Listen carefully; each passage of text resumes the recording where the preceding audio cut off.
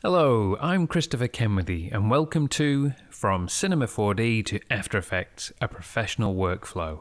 And one of the most important things about getting a professional workflow going is setting things up correctly in the first place. And one thing I always like to do in a course is get you making things that look good quickly, because that's what After Effects users do. And I promise we will start making things look very beautiful very quickly. But if you don't get a few things right at the very beginning, Cinema 4D can be very frustrating and it can upset your After Effects workflow. So I'll show you the quickest way to get this working for you every time you set it up. I've created a new composition here, but we'll just go to composition and composition settings so you can see what I'm working with. This is a standard 16.9 setup at 1920 by 1080 pixels and the frame rate is 25. There's a lot of debate about what's the best frame rate to use, but these days 25 is a standard for a lot of film and television. Even if you finish at a different frame rate, you'll often find this is what you're working at. So I'm going to use that here. And I've set the duration to 10 seconds with a black background color. This is just going to have an effect on how we set up Cinema 4D.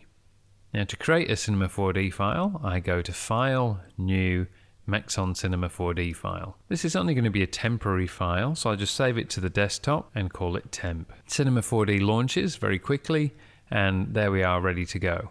Although this screen looks roughly like a 16.9 shape, you may notice there are slightly darker grey bars on the left and the right, and that means it's only this area in the centre that's being used by Cinema 4D. So just click up here on the cube icon. Then if I just grab hold of this and move it around, if I put it there, that's actually at the edge of frame.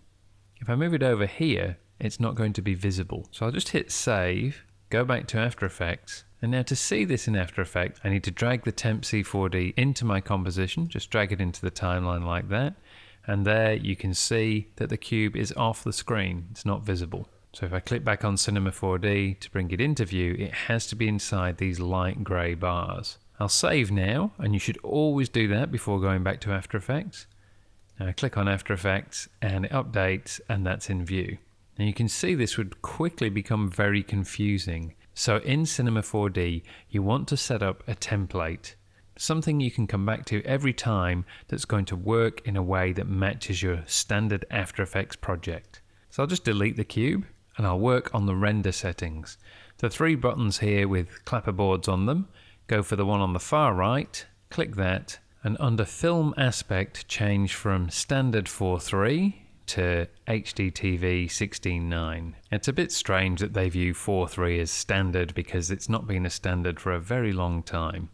The frame rate's set to 30, which is a standard frame rate for some broadcast television, but let's switch that to 25 as that's what we'll be working with throughout this course. You can leave everything else as it is, close that up, and now I want to look at the project attributes. So I click on the attributes window over here on the right, so that that's orange, and then I just click this black arrow to the left, which takes me back to the project settings. In here, I also need to make some changes. So I'm going to set the frames per second to 25. The maximum time is currently set to 75 frames. I want 10 seconds at 25 frames a second, so I'm going to set that to 250. And you can see over here on the left we have 250 frames and this slider in the middle allows us to move along those in the timeline. If I click on the right hand arrow here and drag that out you can see all 250 frames come into view along our timeline here. So I like the way that's set up. I would like this to be my default. You can see now that the grey bars at the side are much narrower. It's quite difficult to see but they are and the light grey area matches the 16.9 screen that we'd see in After Effects. Just to check that, I'm going to click a cube and move it over to the very left where it's just touching that darker grey bar. To duplicate the cube, I'll hit Control and drag out a copy of the cube, and then I'll just move this one till it's touching the very right hand side of this darker grey bar. Now I'll hit Save, go back to After Effects, and you can see we've got exactly the same view there. The cubes are just touching the right hand edges. So we're set up correctly. I'll go back to Cinema 4D Lite and it's now important to save this as a template. I'll get rid of my cubes, just delete them because I don't want those to be there every single time. Unlike After Effects, there are lots of menus in Cinema 4D. For this, to save the overall project, you go to this main file menu and go to Save As. And you want to save this as default C4D save that to the desktop. Now I'm going to hide everything And now you need to find where the standard default file is. So in my applications folder, I've gone to After Effects CC and inside plugins, I find the Maxon Cineware folder and in there, Cineware support.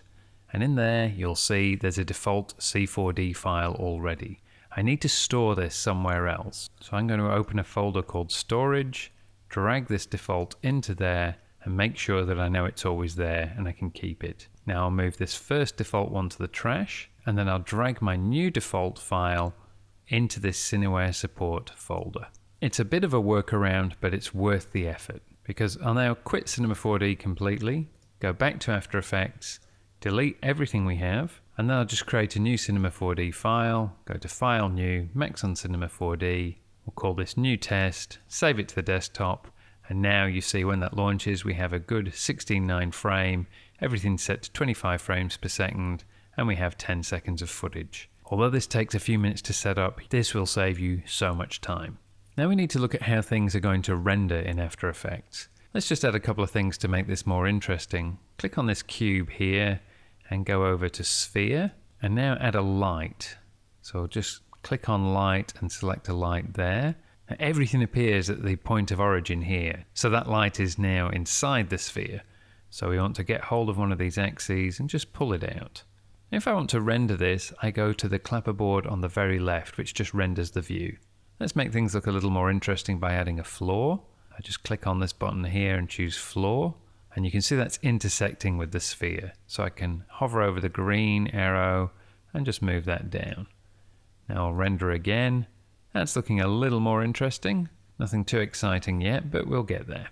Now let's save and go back to After Effects. I'll drag this into my composition and you can see there that resembles roughly what we're seeing in Cinema 4D, although it's a little lower resolution. And that's because in the Cineware plugin, which is how After Effects sees what's going on in Cinema 4D, our renderer is set to software and display is set to current shading, so it's showing us the same as Cinema 4D. We could change this to wireframe that can be useful when things are getting complicated and you want a fast render just to test things out. Or you can even go to box, which is even faster but quite difficult to see, so we'll leave that on current shading. If we want to see this looking a little better, we could change to standard draft, and a lot of the time this is a great way to work. It's a good compromise between the software and going to standard final, which does all the calculations. There are other ways of saving time. You can check the no pre-calculation box, which just stops Cinema 4D from doing some of the work that it will often do in the background. Just make sure you turn that off before you render your final project. And you can also keep textures in RAM. At this point that's not going to make much difference because we haven't applied any textures. But if you have a computer with a lot of RAM, this is definitely worth checking. If you don't have a lot of RAM, don't waste your time, it'll slow things down. The other settings can be left for now. You've now got a basic way to see your Cinema 4D project in After Effects. Anytime you want to make a change, you just go to Cinema 4D, move something, add an extra light, whatever it may be, just always make sure you save, move back to After Effects, and your project will update. With that knowledge, you're now ready to move on to quite complex projects and get things looking good in After Effects.